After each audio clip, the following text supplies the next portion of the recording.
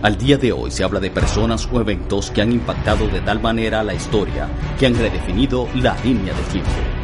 Antes y después de la bomba nuclear, antes y después de la luna, antes y después del 9-11, que hace que un evento se convierta en un nombre código.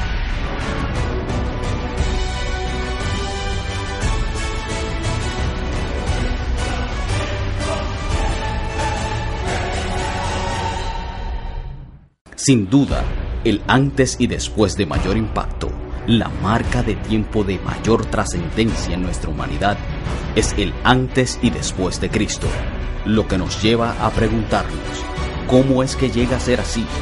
¿Cómo es que se convierte en el nombre código Mesías?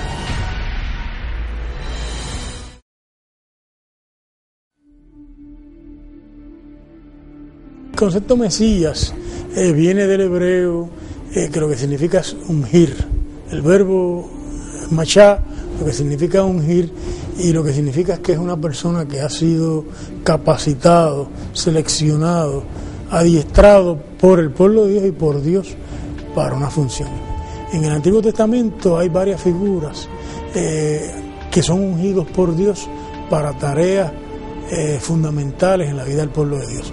Así que cuando uno lee la ley, por ejemplo, al sacerdote del santuario hay que ungirlo con una unción especial porque el sacerdote tiene un rol fundamental y es el rol de interceder eh, entre el pueblo y Dios en el templo.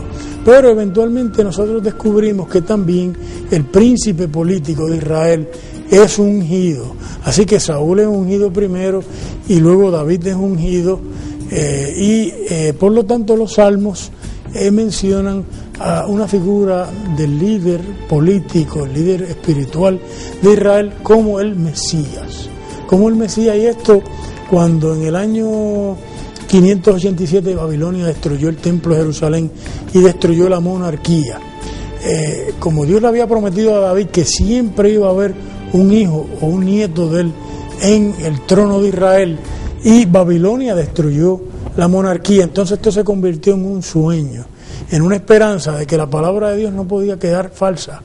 Por lo tanto, eh, se produjo todo lo que nosotros conocemos como el mesianismo, que es la idea de que Dios volvería a levantar un príncipe eh, político y religioso, no había separación de iglesia y Estado, para Israel y eh, esto nosotros lo vemos inclusive en los textos de la comunidad del Mar Muerto, en Qumran, donde habían dos Mesías, el Mesías de Aarón y el Mesías de David. El Mesías de Aarón tenía que ver con el, sacerdote legítimo, dado que los qumranitas pensaban que el sacerdote del templo era un ilegítimo, un ilegal. Y el Mesías davídico que Babilonia había suspendido y que se esperaba que volviera. El cristianismo primitivo entendió que Jesús era la persona del Mesías. Y nosotros sabemos eso porque tanto Mateo como Lucas presentan genealogías de Jesús que ambas llegan a David. Pero Pablo en Romanos 1 alega que Jesús conforme eh, a la simiente humana es un descendiente de David. Así que aquí tenemos tres atestaciones independientes donde se va a repetir la figura